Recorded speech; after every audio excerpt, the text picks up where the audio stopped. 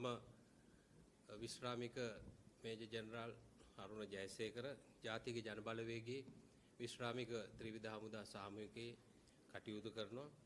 අද මේ විශේෂ මාධ්‍ය සාකච්ඡාව පවත්වන්න යෙදෙන්නේ කරුණු කීපයක් ගැන විස්තර කිරීම සඳහා මාත් සමග සිටිනවා අපගේ ජාතික ජනබලවේගයේ අධිටන එහෙම නැත්නම් විශ්‍රාමික ත්‍රිවිධ හමුදා සාමූහිකයේ නායකත්වය දෙන එයා වයිස් මාර්ෂල් විශ්‍රාමික සම්පත්තු යොකොන්තා. ඒ වගේම නාවික විශ්‍රාමික රියා අද්මිරාල් ෆ්‍රෙඩ් සෙනවිරත්න. ඒ වගේම මාත් සමග සිටිනවා විශ්‍රාමික මේජර් ජෙනරල් පාලිත ප්‍රනාන්දු. ඒ වගේම විශ්‍රාමික එයා වයිස් මාර්ෂල් බන්දුල හේරත්.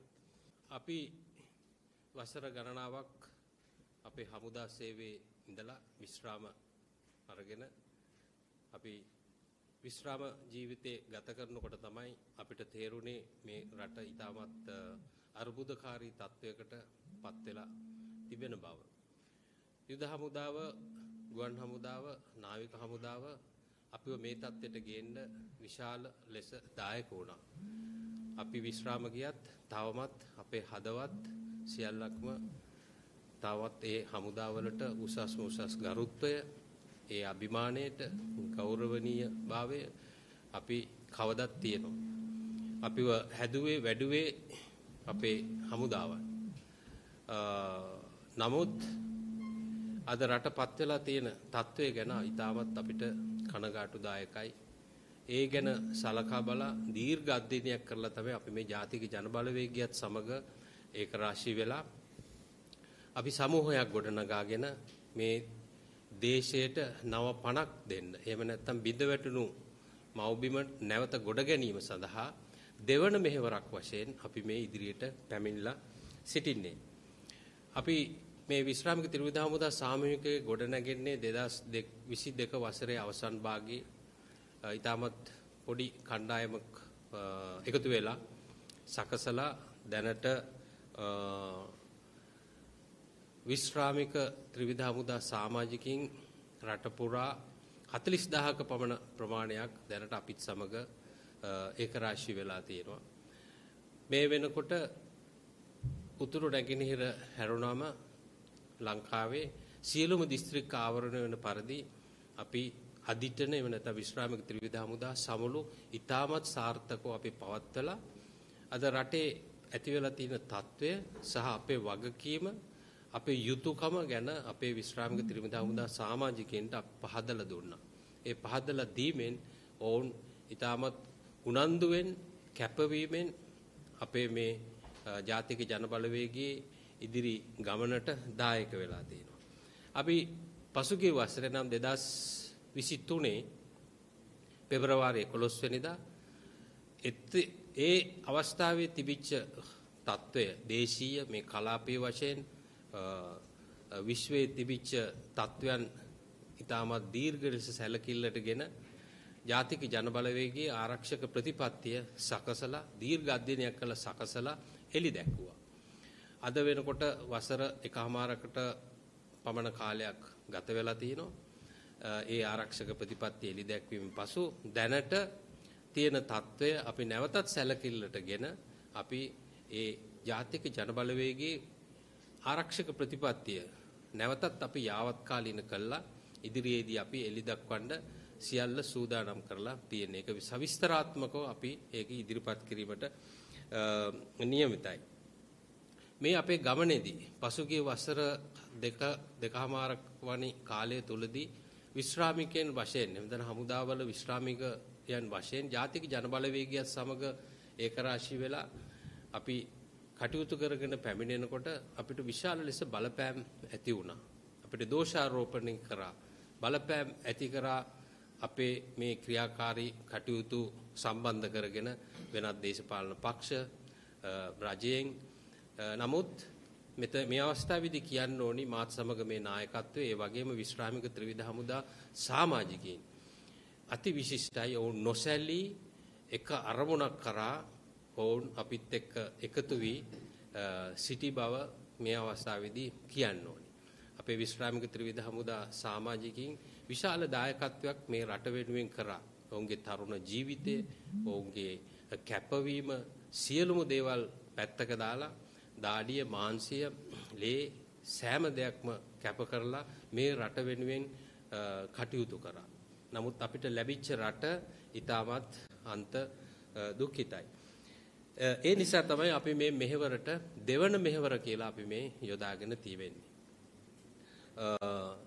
මේ අණුව අපි අදිටන් කරගෙන තියෙනවා විශ්‍රාමික ත්‍රිවිධ හමුදා සාමූහිකයේ ජාතික සමුළුව කොළඹ කැම්බල් පිටියේදී අගෝස්තු 4 වෙනිදා පැවැත්වීමට.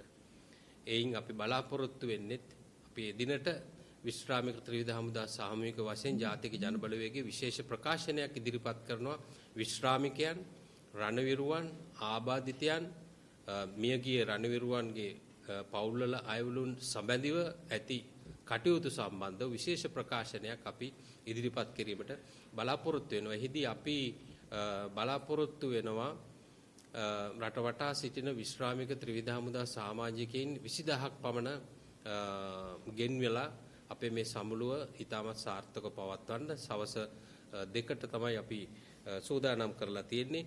ඉතින් මම මේ අවස්ථාවක් කරගන්නවා විශ්‍රාමික ත්‍රිවිධ හමුදා සාමූහික විශ්‍රාමික ත්‍රිවිධ හමුදා සමාජිකයින්ට මේ පණිවිඩය තවත් ගිහිල්ලා නැත්තම් අද රටපත් වෙලා තියෙන තත්ත්වය ගැන සැලකිලිමත් වෙලා මේ ජාතික ජනබලවේගයේ යන උතුම් ශ්‍රේෂ්ඨ ප්‍රතිපත්ති ගරුක දේශපාලන ව්‍යාපාරයේ සමග අපි එක් වෙලා සිටින මේ මොහොතේ අදිටන එහෙම නැත්නම් විශ්‍රාමික ත්‍රිවිධ හමුදා සමුළුව අගෝස්තු 4 වෙනිදාට සම්බන්ධ වෙන්න. ඒ ඒ එකම මේ අවස්ථාවක් කරගන්නවා විශ්‍රාමික ත්‍රිවිධ හමුදා ජ්‍යෙෂ්ඨ නිලධාරීන් රාශියක් සිටිනවා. ඒ අපිට ඊටමත් හොඳ ප්‍රතිචාර ලැබිලත් තියෙනවා. එදාට සම්බන්ධ වෙනවත් කියලා අපිට දන්වලා තිනවා. ඒ නිසා මෙතෙක් ඔබලා බලාගෙන සිටිය රටට අද වෙලා තියෙන දේ අපි ඉදිරිපත් වෙලා තියෙනවා.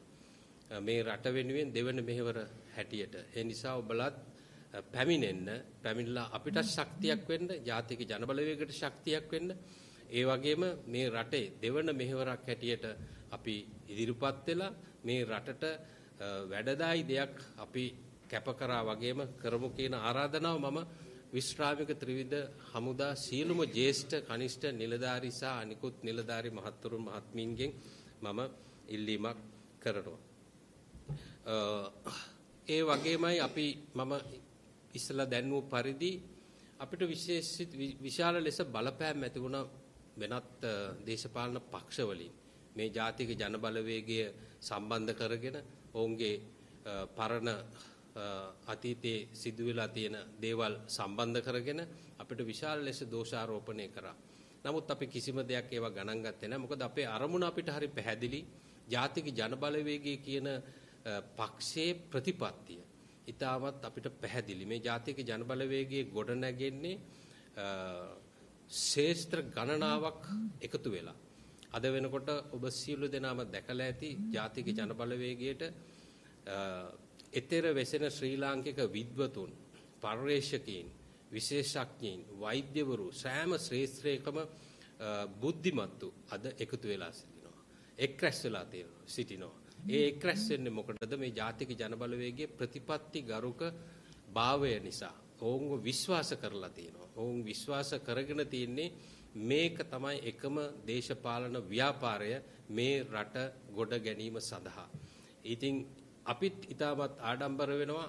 අපි එදාගත්තු තීරණය 2022 අවසාන කාලේ ජාතික ජනබලවේගයත් සමග විශ්‍රාමික ත්‍රිවිධ හමුදා සාමූහිකයක් සකසාගෙන මේ දේශයේ ඊළඟ වැඩ කටයුතු කරගෙන යාම සඳහා.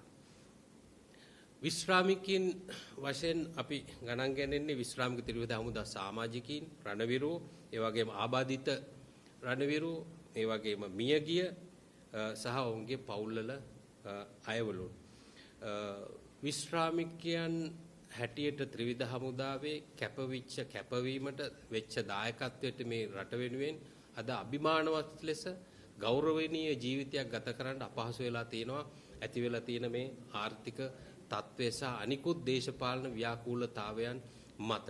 නොඑක් නොඑක් අවස්ථාවල ඒ ඒ රජයන් විසින් ගන්නා ලද තීරණ නිසා විශ්‍රාමිකයන් ත්‍රිවිධ හමුදා විශ්‍රාමිකයන්ට ඊටමත් අපහසුතාවයන්ට පත් වෙලා තියෙනවා ඔවුන්ගේ වැටුප් දීමනා සහ පාලන කටයුතු සම්බන්ධව විශේෂිත වූ දේවල් ඇති වෙලා තියෙනවා ඔවුන්ගේ ඒ කටයුතු සම්බන්ධයෙන්.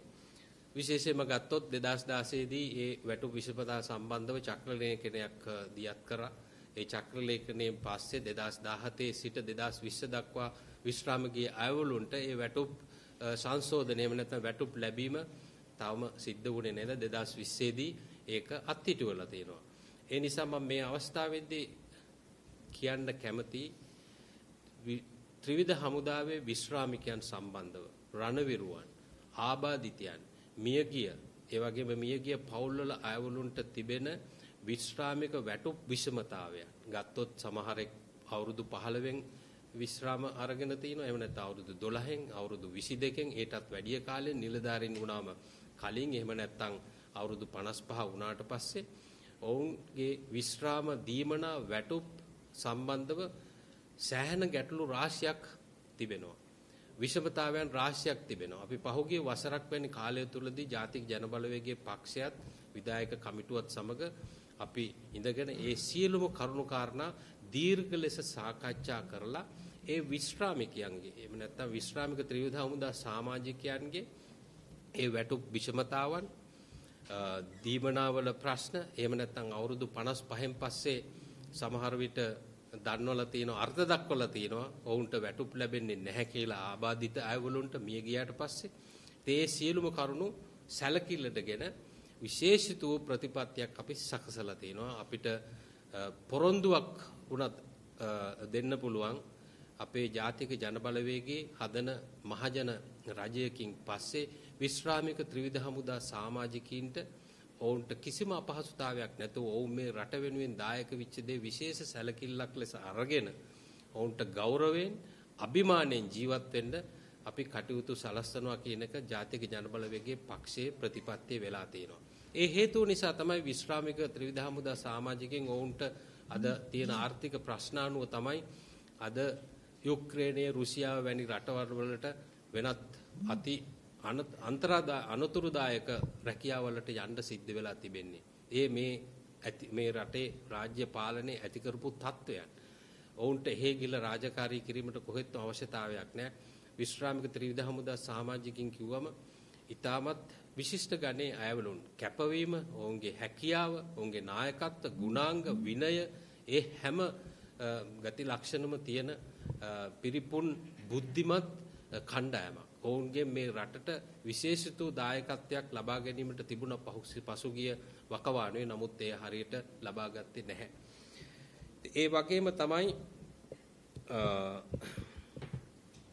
ත්‍රිවිධ හමුදාවේ විශ්‍රාමික ත්‍රිවිධ ත්‍රිවිධ හමුදාවේ විශ්‍රාම නීත්‍යානුකූලව ගන්නේ අතහැර යන්නේ නැතුව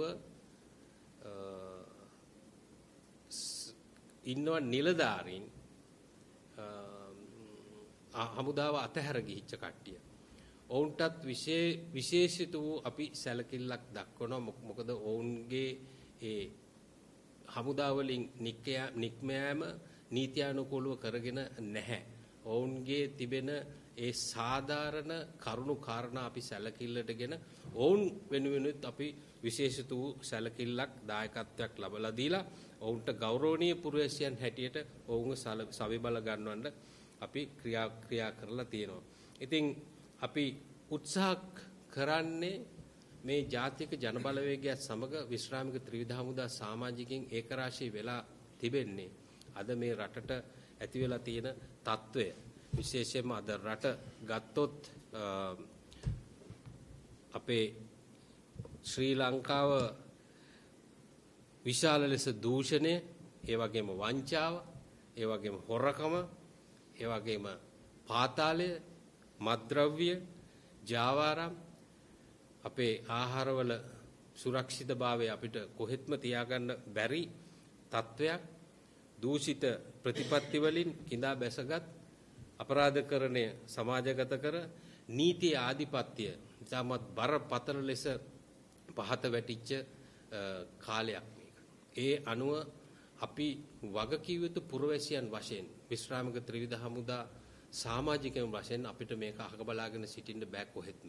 ඉතින් අපි දීර්ඝ ලෙස මේ ජාතික ජනබලවේගයේ නායකත්වයත් සමග අපෙන් මේ රට වෙනුවෙන් දෙවන මෙහෙවරක් හැටියට ඉටුවිය යුතු කරුණු කාරණා දීර්ඝ ලෙස අපි සාකච්ඡා කරා. ඔවුන් ඊටමත් ඉහළ ලෙස අපේ විශ්‍රාමික ත්‍රිවිධ හමුදා සමාජිකින්ට ගරුත්වයක් තියෙනවා. ඒ අන ඒ ඒ අනුව අපෙන් දායක දායක කරගන්න පුළුවන් ඉදිරියේදී ජාතික ජනබලවේගයේ මහජන රජයක් ගොඩනගුවට පස්සේ දායක වෙන්න කොයි ආකාරයෙන්ද කියන එක ඉතාමත් දීර්ඝ ලෙස අපි සාකච්ඡා කරලා තියෙනවා. අපේ හැකියාවන් විවිධාකාරයි. මෙතෙර එතර අපි රාජකාරී කළා. විශේෂිත වූ අත්දැකීම් බහුල විශ්‍රාමික ත්‍රිවිධ හමුදා සමාජිකයින් අපි. ඒ නිසා අපිට අහක බලාගෙන ඉන්න බෑ මේ අවස්ථාවේ මේ රටට වෙලා තියෙන දේ. මමත් එක්ක සිටින මේ ජ්‍යෙෂ්ඨ නිලධාරීන්. මා වගේම අපේ සමකාලීනයෝ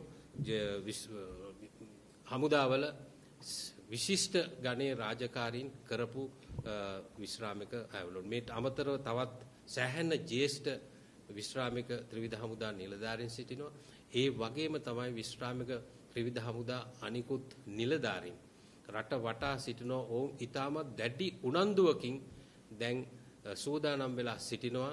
ඉදිරියේදී පිහිටුවන මේ ජාතික මේ ජාතික ජනබලවේගයේ මහජන රජයක් එක්ක එකතු වෙලා මේ රට ඊටමත් හොඳ නීතියේ ආධිපත්‍ය පවත්වන අපේ ආදරණීය දූ දරුවන් වෙනුවෙන් කාන්තාවන්ගේ ආරක්ෂාව දූ දරුවන්ගේ ආරක්ෂාව මේ රටේ ආරක්ෂාව ජාතික ආරක්ෂාව ඊටමත් ඉහලින් රැකගන්න රැක දෙන්න කැප වෙන්න ඔවුන් දිවි හිමියෙන් සූදානම් වෙලා සිටිනවා කියලා මට මේ අවස්ථාවේදී කියන්න පුළුවන්. අපේ අගෝස්තු 4 වෙනිදා පවත්වන්න සූදානම් කරලා තියෙන අදිටන විශ්‍රාමික ත්‍රිවිධ හමුදා සමුළුව ජාතික සමුළුව අපි පවත්වන්නේ විශේෂයෙන්ම මේ රටට අද වෙලා තියෙන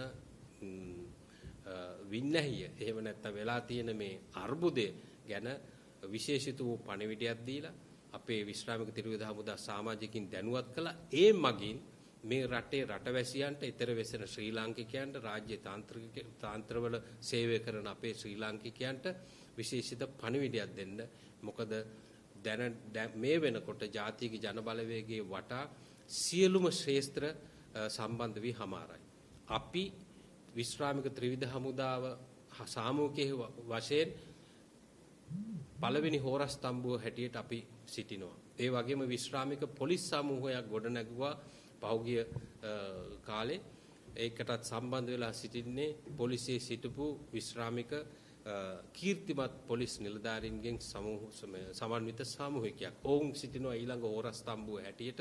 ඒ වගේම අනිකුත් විද්වතුන් රාශියක් හැම ශ්‍රේෂ්ඨයක්ම ආවරණය වෙන විදියට ඒක රාශී වෙලා සිටිනවා අපේ ජාතික ජනබලවේගයත් සමග. ඉතින් අපිට දැන් තිබෙන්නේ මේ එළඹෙන සැප්තැම්බර් 21 වෙනිදා පැවැත්වීමට නියමිත ජනාධිපතිවරණයෙන් විශිෂ්ට දයක් මේ ජාතික ජනබලවේගයේ නායකත්වයට ලැබෙනවා.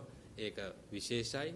ඉතින් ඒකට අපි සූදානම් වෙලා සිටිනවා විශේෂයෙන් විශ්‍රාමික ත්‍රිවිධ හමුදා සමාජිකින් වශයෙන් අපේ වැඩ කටයුතු ඉදිරියට කරගෙන යන්න. බොහොමත්ම ස්තුතියි.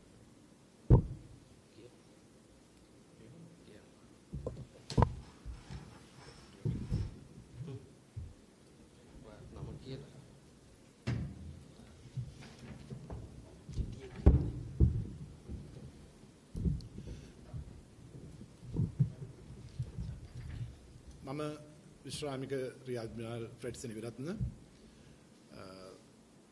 අපි මේ ජාතික ජන බලවේගයට සම්බන්ධ වෙලා වැඩ කිරීම සම්බන්ධව පහුගිය දින වලදී අපිත් එක්කම සේවය කරපු සමකාලීන ත්‍රිවිධ හමුදා නිලධාරීන් යම් යම් විවේචන එල්ල කළා තිබ්බා. ඒ සම්බන්ධව කෙටි කරුණු දැක්වීමක් කරන්නයි මම අදහස් කළේ. අපි ඔබ කවුරුත් දන්නා පරිදි විශ්‍රාමික හමුදා නිලධාරීන් විදියට අපිට කැමැති දේශපාලන මතයක් දැරීමට කැමැති දේශපාලන පක්ෂයකට සහයෝගය ලබා දීමට ඒ සඳහා පිරිස් එක් රැස් කිරීමට ව්‍යවස්ථාවෙන්ම අයිතියක් ලැබිලා තියෙනවා. ඒ අනුව වෙනත් දේශපාලන පක්ෂවලට සම්බන්ධ වෙලා වැඩ කරන නිලධාරීන් සම්බන්ධව අපිට විවේචනයක් නැහැ. ඔවුන්ගේ ඒ තෝරා ගැනීමට අපි ගරු කරනවා. හැබැයි අපිට කියන්න තියෙන අපි ගැන විශේෂයෙන් මේ අධිටරණයට සම්බන්ධ වෙලා ඉන්න අපි කවුරුත් සක්‍රීය සේවයේදී දේශපාලනය කරපු අය නෙමෙයි. දේශපාලන වැඩ කටයුතු වලට සම්බන්ධ වෙච්ච අය නෙමෙයි. විශ්‍රාමයෙන් පසු මේ සිදුවෙන සමාජ අසාධාරණය බලාගෙන ඉන්න බැරුව සමාජ මෙහෙවරක් විදිහට තමයි අපි මේ දේශපාලන ව්‍යාපාරයට සම්බන්ධ වෙලා තියෙන්නේ. මේ රට විනාශ වෙලා බංකොලොත් වෙලා මේ තත්ත්වයටපත් වෙන්න ප්‍රධාන හේතුව තමයි මේ පවත්නා දූෂිත දේශපාලන සංස්කෘතිය. ඒ දූෂිත දේශපාලන සංස්කෘතිය මේ රට මෙතෙක් පාලනය කළ ප්‍රධාන පක්ෂ දෙකට කවදාවත් වෙනස් කරන්න බෑ. ඒකට හේතුව තමයි ඒගොල්ලෝ ගසට පොත්ත සේ මේ දූෂිත දේශපාලන සංස්කෘතියට බැඳිලා ඉන්නේ. ඒ දූෂිත දේශපාලන සංස්කෘතිය වෙනස් කළ හැක්කේ තම දේශපාලන භාවිතය තුලින් අදූෂිත භාවයේ ඔප්පු කර ඇති ජාතික ජනබලවේගයට පමණයි. අන්න ඒ නිසායි විශ්‍රාමික ත්‍රිවිධ හමුදා නිලධාරීන් විදියට අධිටනට සම්බන්ධ වෙලා ජාතික ජනබලවේග රජයක් බිහි කිරීම සඳහා අපි සහයෝගය ලබා දෙන්නේ. අපි විශ්වාස කරනවා එය ජාතික මෙහෙවරක් කාලීන අවශ්‍යතාවයක්. බොහොම ස්තුතියි.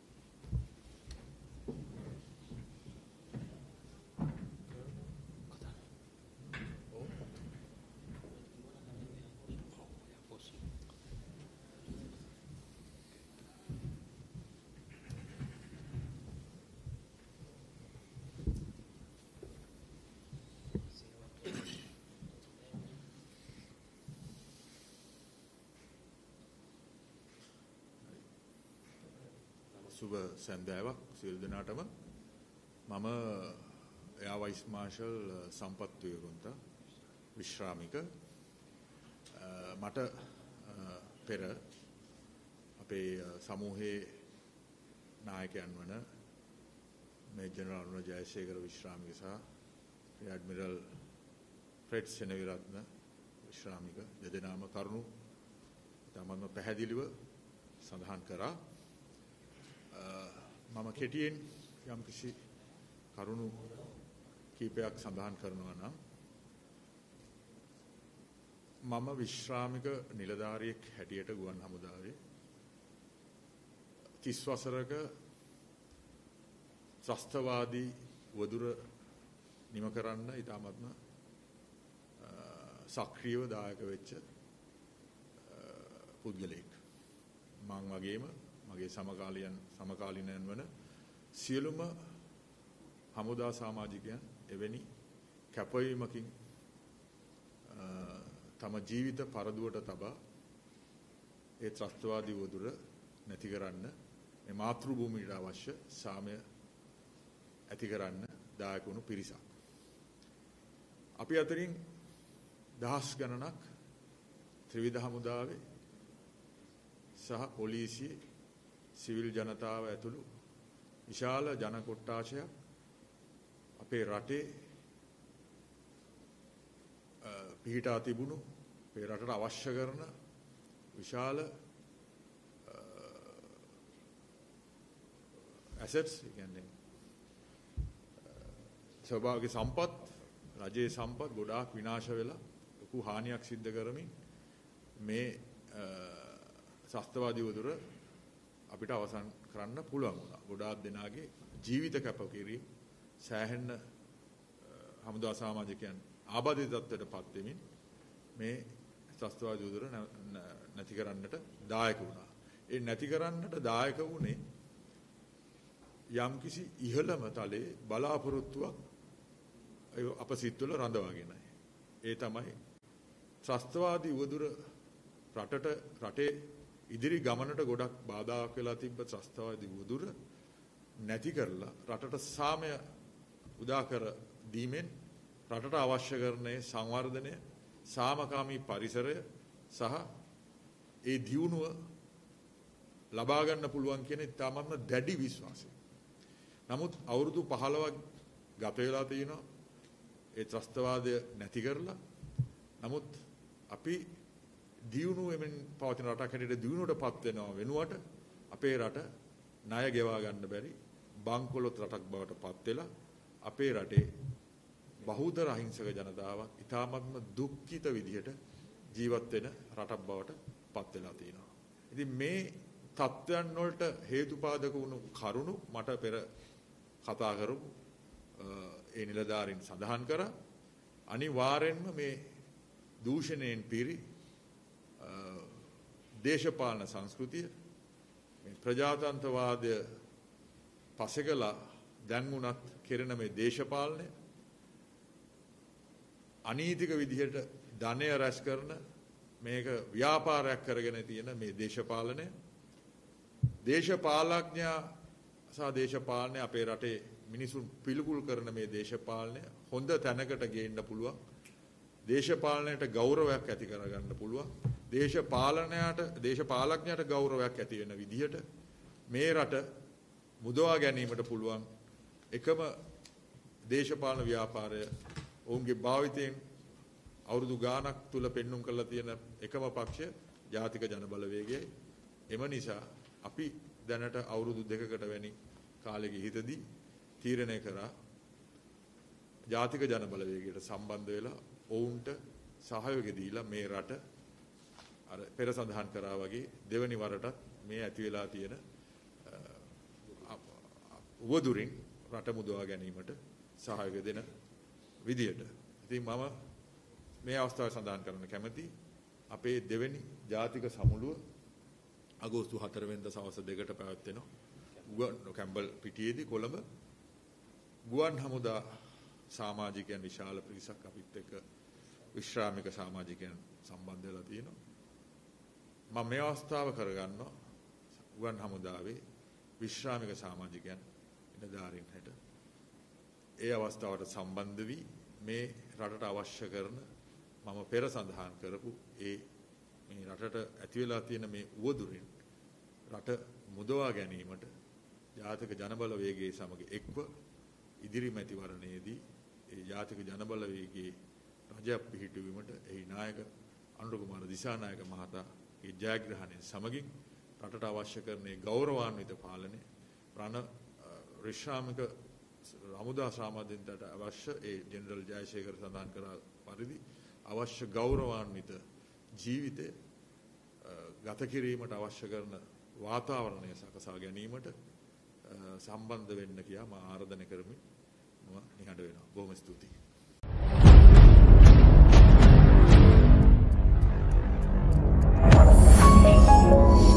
You're watching the Life Traveler channel.